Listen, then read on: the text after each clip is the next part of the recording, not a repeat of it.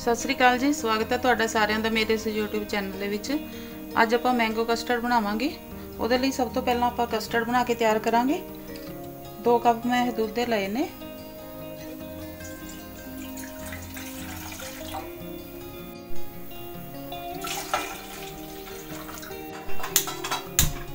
ਪਹਿਲਾਂ ਦੁੱਧ ਨੂੰ ਉਬਾਲ ਲਾਂਗੇ। ਥੋੜਾ ਜਿਹਾ ਦੁੱਧ ਆਪਾਂ ਨੇ ਠੰਡਾ ਹੀ ਲਿਆ। ਠੰਡੇ ਦੁੱਧ ਦੇ ਵਿੱਚ ਆਪਾਂ ਕਸਟਰਡ ਘੋਲਾਂਗੇ। 2 ਟੇਬਲ ਸਪੂਨ ਮੈਂ ਵਨੀਲਾ ਕਸਟਰਡ ਲਿਆ। ਇਹਨੂੰ ਆਪਾਂ ਦੁੱਧ ਦੇ ਵਿੱਚ ਪਾਵਾਂਗੇ ਤੇ ਇਹਨੂੰ ਘੋਲ ਲਾਂਗੇ। ਕਸਟਰਡ ਨੂੰ ਆਪਾਂ ਨੇ ਚੰਗੀ ਤਰ੍ਹਾਂ ਘੋਲ ਲਿਆ ਦੁੱਧ ਦੇ ਵਿੱਚ ਤੇ ਇਧਰੋਂ ਦੁੱਧ ਨੂੰ ਵੀ ਉਬਾਲੀ ਆ ਗਈ। ਦੁੱਧ ਨੂੰ ਵੀ ਆਪਾਂ ਵਿੱਚ ਵਿੱਚ ਚਲਾਉਂਦੇ ਰਹੇ ਸੀ ਤਾਂ ਕਿ ਦੁੱਧ ਨੀਚੇ ਨਾ ਲੱਗੇ। ਹੁਣ ਆਪਾਂ ਗੈਸ ਨੂੰ ਘੱਟ ਕਰ ਦਾਂਗੇ ਤੇ ਥੋੜਾ ਥੋੜਾ ਕਰਕੇ ਕਸਟਰਡ ਪਾਉਂਦੇ ਜਾਵਾਂਗੇ ਤੇ ਨਾਲ ਨਾਲ ਦੁੱਧ ਨੂੰ ਹਿਲਾਉਂਦੇ ਰਵਾਂਗੇ।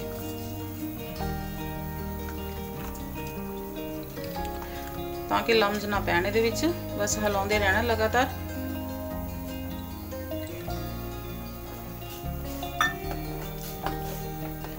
ਹੁਣ ਆਪਾਂ ਇਹਨੂੰ 4-5 ਮਿੰਟ ਤੱਕ ਪਕਾ ਲਾਂਗੇ। ਆਂਚ ਜਿਹੜੀ ਆਪਾਂ ਸਲੋ ਹੀ ਰੱਖਾਂਗੇ ਤਾਂ ਕਿ ਨੀਚੇ ਨਾ ਲੱਗੇ ਤੇ ਲਗਾਤਾਰ ਚਲਾਉਂਦੇ ਰਵਾਂਗੇ। 3-4 ਮਿੰਟ ਲਈ ਆਪਾਂ ਨੇ ਪਕਾ ਲਿਆ ਇਹਨੂੰ। ਹੁਣ ਆਪਾਂ ਇਹਦੇ ਵਿੱਚ ਅੱਧੀ ਕੌਲੀ ਚੀਨੀ ਦੀ ਪਾਵਾਂਗੇ ਜਾਂ ਮਿੱਠਾ ਤੁਸੀਂ ਆਪਣੇ ਸਵਾਦ ਅਨੁਸਾਰ ਵੀ ਲੈ ਸਕਦੇ ਹੋ। ਕਈਆਂ ਨੂੰ ਜ਼ਿਆਦਾ ਮਿੱਠਾ ਪਸੰਦ ਹੁੰਦਾ, ਕਈ ਘੱਟ ਖਾਂਦੇ ਆ। ਇਸ ਕਰਕੇ ਮਿੱਠਾ ਆਪਣੇ ਸਵਾਦ ਦੇ ਅਨੁਸਾਰ ਪਾ ਲਓ। ਕਸਟਰਡ ਆਪਣਾ ਬਣ ਕੇ ਤਿਆਰ ਹੋ ਗਿਆ। ਇਹਨੂੰ ਆਪਾਂ 4-5 ਮਿੰਟ ਲਈ ਪਕਾ ਲਿਆ। ਬਸ ਇਦੋਂ ਵੱਧ ਨਹੀਂ ਪਕਾਉਣਾ। ਹੁਣ ਆਪਾਂ ਇਹਨੂੰ ਗੈਸ ਨੂੰ ਬੰਦ ਕਰ ਦਵਾਂਗੇ। ਤੇ ਕਸਟਰਡ ਨੂੰ ਠੰਡਾ ਹੋਣ ਦਵਾਂਗੇ। ਇਹਨੂੰ ਅਸੀਂ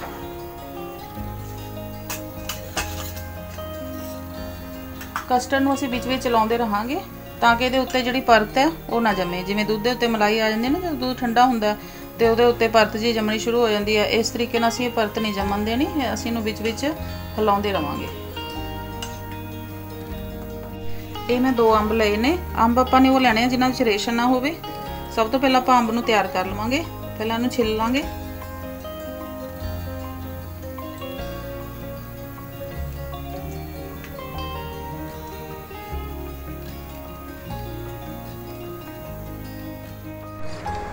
ਦੋਵੇਂ ਅੰਬ ਆਪਾਂ ਨੇ ਛਿੱਲ ਕੇ ਤਿਆਰ ਕਰ ਲਏ। ਹੁਣ ਆਪਾਂ ਇਹਦੇ ਛੋਟੇ ਛੋਟੇ ਪੀਸ ਕੱਟ ਲਾਂਗੇ।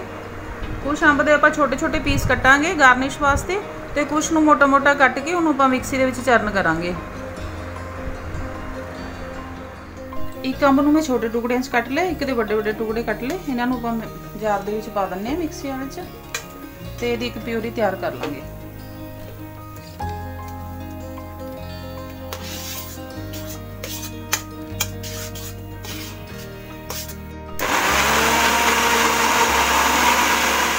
ਉਹਦੀ ਆਪਾਂ ਨੇ ਪਿਊਰੀ ਤਿਆਰ ਕਰ ਲਈ। ਹੁਣ ਆਪਾਂ ਜਿਹੜਾ ਕਸਟਰਡ ਹੈ, ਇਹਨੂੰ ਵੀ ਠੰਡਾ ਕਰ ਲਿਆ। ਬਿਲਕੁਲ ਠੰਡਾ ਹੋ ਗਿਆ ਇਹ। ਇਹਨੂੰ ਆਪਾਂ ਜਾਰ ਦੇ ਵਿੱਚ ਹੀ ਪਾ ਕੇ ਇੱਕ ਵਾਰੀ ਚਰਨ ਕਰ ਲਾਂਗੇ ਤਾਂ ਕਿ ਚੰਗੇ ਤਰੀਕੇ ਨਾਲ ਮਿਕਸ ਹੋ ਜਾਏ। ਮੈਂਗੋ ਦੇ ਨਾਲ ਹੀ ਆਪਾਂ ਇਹਨੂੰ ਚੰਗੀ ਤਰ੍ਹਾਂ ਨਾਲ ਚਰਨ ਕਰ ਲਾਂਗੇ। ਹੁਣ ਆਪਾਂ ਇਹਨੂੰ ਇੱਕ ਕੱਚ ਦੇ ਬੋਲ 'ਚ ਪਾ ਲਾਂਗੇ।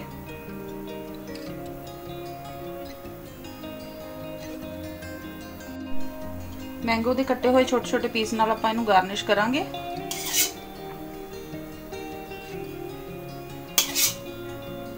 ਨਾਲੇ ਜਿਹੜੇ ਮੈਂਗੋ ਦੇ ਪੀਸ ਨੇ, ਇਹ ਮੂੰਹ ਚ ਆਉਂਦੇ ਬੜੇ ਸਵਾਦ ਲੱਗਦੇ ਨੇ।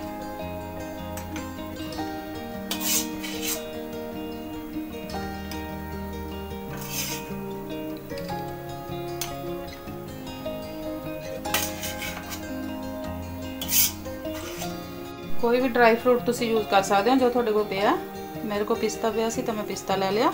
ਜਾਂ ਤੁਸੀਂ ਇਹ ਤੋਂ ਬਿਨਾ ਵੀ ਤਿਆਰ ਕਰ ਸਕਦੇ ਹੋ। ਥੋੜੀ ਜਿਹੀ ਕਿਸ਼ਮਿਸ਼ ਪਾ ਦਿੰਦੇ ਆ ਜੋ ਘਰ ਦੇ ਵਿੱਚ ਅਵੇਲੇਬਲ ਹੋਵੇ, ਉਹ ਚੀਜ਼ ਤੁਸੀਂ ਲੈ ਸਕਦੇ ਹੋ।